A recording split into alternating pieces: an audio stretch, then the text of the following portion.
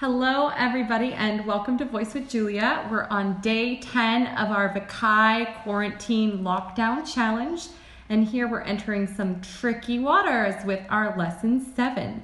We are going to have an introduction to vocal runs, so get ready to riff it out with me here. Cool.